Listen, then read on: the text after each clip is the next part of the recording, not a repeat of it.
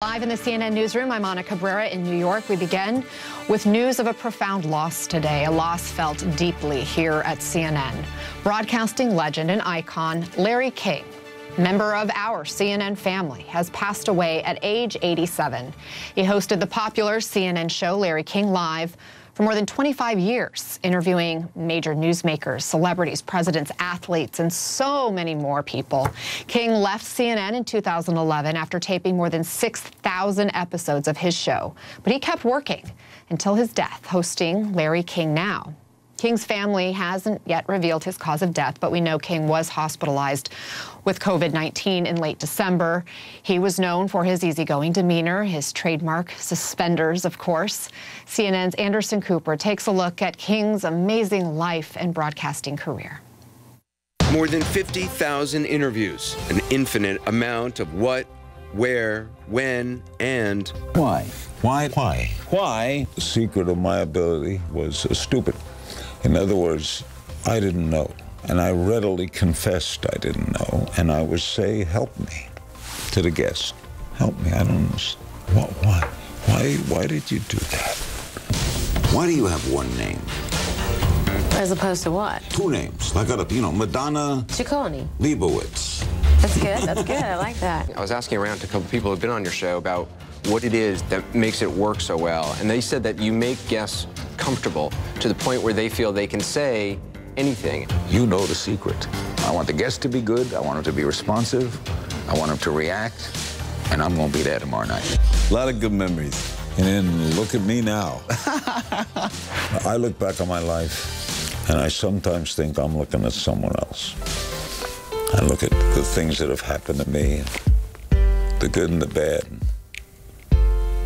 And I can't believe it sometimes. I mean, I can't believe it. I look at my my teenage boys. Who is that me? Come on. Somebody's kidding. Somebody's kidding. It's uh, all a whirl. It's a. I'm still doing it. What a humble man. Legendary comedian Billy Crystal is joining us live in just a moment. Here's a clip of Crystal and Larry together on the show. Watch this.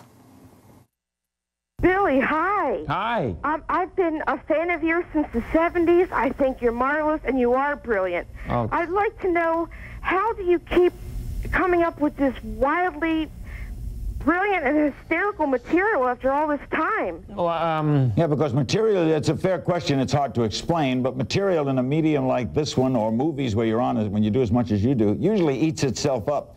I tell you, I'm. Um, if this was baseball, I'd say I'm on a hitting streak. I don't, you know, I, I don't know where things come from. Sometimes I was once, like the idea for City Slickers. I was watching um, a television show about uh, fantasy vacations, you know, and there was scuba diving you could do and go down a raft, uh, the Colorado River, and I have a pad pretty much in every room, and just in case I get some of these little epiphanies, and I, I wrote City Slickers at the top of the page. Really, those two words? Yeah, I wrote the title. I wrote three friends go on a cattle drive. Uh, friends, just pretty much how I described the story. I even wrote Jack Palance's name in the in like half a page of legal pad. Uh, legal pad. That is unexplainable. And then it, then it just comes. Billy Crystal is joining us now on the phone. Billy, it's so great to have you be part of this conversation as we remember the life of Larry King and his legacy. You've been interviewed by the great Larry King, but I know you also knew him off the air as well. When you think of him, what goes through your mind? I think of uh, of Larry um, as really sort of like a relative. He sounded like a relative. He was funny. He was charming. He was very smart, um, and he was a regular guy. We could talk about politics. We could talk about comedy. We could talk about bagels. We could talk about anything. And I think that Larry's passing is is. Um, he's part of a senior class, Ana, of really enduring legends that we've been losing steadily. I mean, Hank Aaron just the other day, and my very dear friend Carl Reiner and Regis Philbin and Kirk Douglas, really giants who who sustained themselves into their 90s. Um, and so it's a you know it's a sad day, but what an amazing career in that you know he was he was on CNN for 25 years. But the, the reason you can do that is because people trusted him. Mm-hmm. And and you wanted to be interviewed for. I remember the first time I was interviewed with him. Um, I, I really felt like I had arrived. I mean, I, I was starting to do movies, and you started to do press tours, you know. And then they said Larry King wants to talk to you, and I was like, oh. And I was actually quite nervous because it was just Larry at the desk, no audience, so that was a little bit of an away game for me. and it was just a conversation that he actually made me relaxed because he was he was just so prepared, no notes. He just talked, and I, think he was also very aware, and you'll know this too, as a as a broadcaster, uh, the timing of the segment that you have. So the next question was was right there. He didn't have to think about anything, and um, that kept me on my toes and uh, made me respect him even more. He always was ready. Yeah, I think all of us in this business have so much respect for, as you point out, his quick ability to come up with a question without notes. If you saw my desk, I have a ton of pages in front of me. I, I always come prepared, I think, but he had this ability to just listen so intently and ask the question that popped into his head, perhaps, um, because he was so innately curious. I, I want to take another look at a clip of you on Larry's show, and then we'll talk on the other side. Okay. You got to be you got to be happy with the way the basketball scenes turned out. I mean, I, well, you know, the guys are so great. And we have Charles Barkley and, and David Robinson, the MVP, and Kareem and Isaiah, Bill Laimbeer, Chris Mullin, Reggie Miller. And, and I think it's the best work that Reggie Miller's ever done. It is. And, and he, oh, by the way, I heard today from John Feinstein that you, uh, Reggie Miller took two days off camp to shoot that, and, and that Larry Brown was ticked.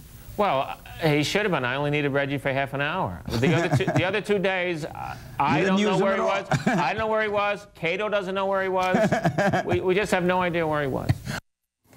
Billy, you said he could talk about anything. I know you're a big New York Yankees baseball fan. Tell me about Larry King, the sports fan.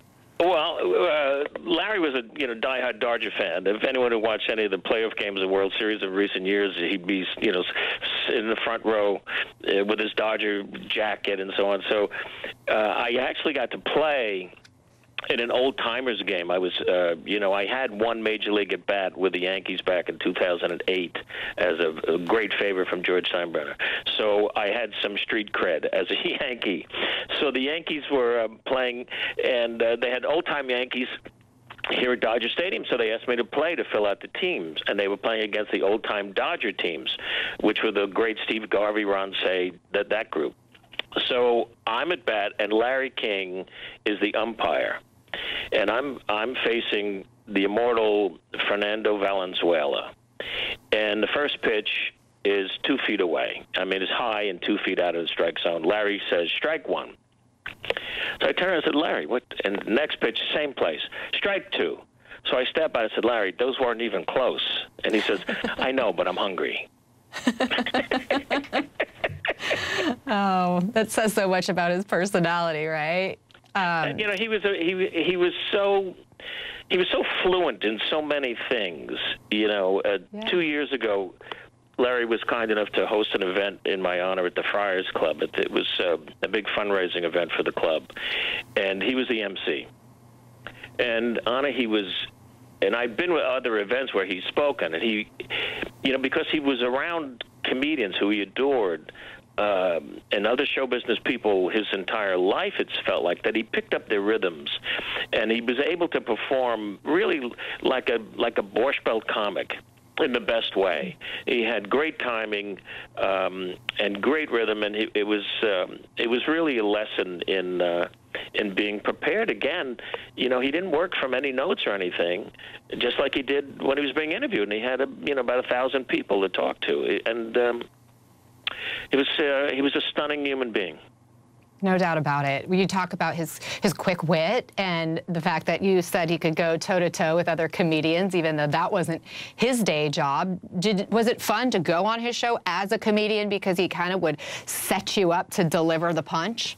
Well, yeah. Well, he also was a little intimidating because you didn't know where he was going to go and you didn't know what his his um, approach would be. You know, you're coming on basically to talk about your latest project and so on and so forth, and and he might have wanted to talk about something else. So again, without an audience, it was almost like going into a you know a shrink session or something because uh, there he was, you know, with the big glasses and and the and, and the uh, and just the way that he would sit there and look at you and and um, and he he never looked at notes and just it just kept coming. So it was always a pleasure to be with him, but there was a little fear involved at times um, because again he uh, he just you didn't know where he was going to go, but it always ended up in the right in the right place.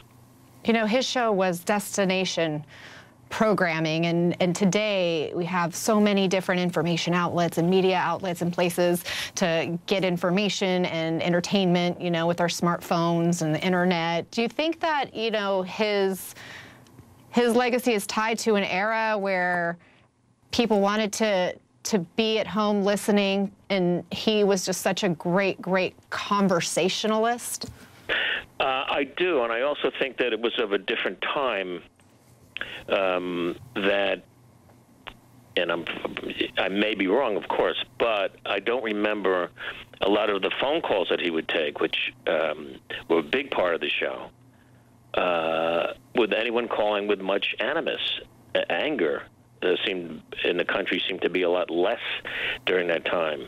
Um, and of course depending on who the guest was but he would he would treat whoever called in with great dignity and you felt like you were calling in you know to a friend. I i also used to kid him you talk about social media a little bit uh, that his column he had a newspaper column um, that was sort of in a way a precursor of tweeting because he would write these little one one sentence observations and tie them all together uh, and and I used to kid him. I said, Larry, how is how is this a column?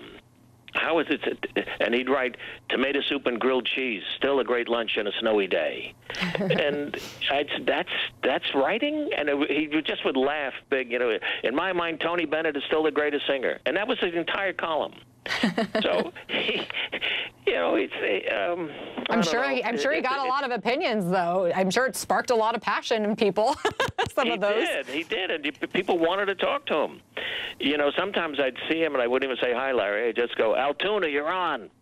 And and he just would giggle, and then um, you know he was uh, he was a real I'll use the word heimish guy, mm. and um, and I again and like Regis and Carl Reiner to have a career that long mm-hmm. and be that good for that long is something um, we all should be grateful for and aspire to. I think it says that he was just so passionate. He lived and breathed the work that he did. It was in some ways, I, I, imagine, effortless for him, the fact that he wanted to work all the way up to his death because he loved it so much. Billy Crystal, thank you very much for sharing your memories and your thoughts and your perspective on the life and legacy of Larry King. Thank you. Next hour, we'll talk with your co-star and Analyze This, Robert De Niro, about his memories about Larry King. He's going to join us live at the top of 5 o'clock. And as we go to break, a look back. At that time, Larry King got the President of the United States to show him his driver's license. When was the last time you drove? I, I, I drive when I'm, uh, have, we have, I have my own truck, for example. In oh, Maine. so you do drive? You yeah, drive, drive. got a car in Washington, but I don't drive it very much. I'll, I'll drive around the circle in the uh, in the Oval Office, Oval Oval in front of the White House. Would you but you? Can drive, you can drive when I go hunting, something like that. Yeah, I go hunting every year here in Texas, and I drive truck. And it's still a Texas driver's license. Still, you want to see it? Yeah.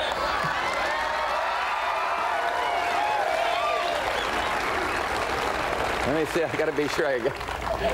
Just make sure it doesn't expire. Sure I give him the right. No, no, it's not expired.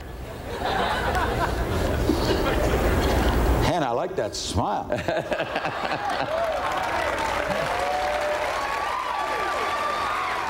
you say president? Wait a minute. Yep. President George W. Bush. The White House, 1600 Pennsylvania Avenue, Department of Public Safety, Texas. It's a Class C driver's license. Hey, wait a minute. Six feet one inches uh, tall. Sex is male. Eyes are brown. Birth date 6 12 24. And this expires 6 12 93. I'm legal. See, where's your car? Let's go for a drive.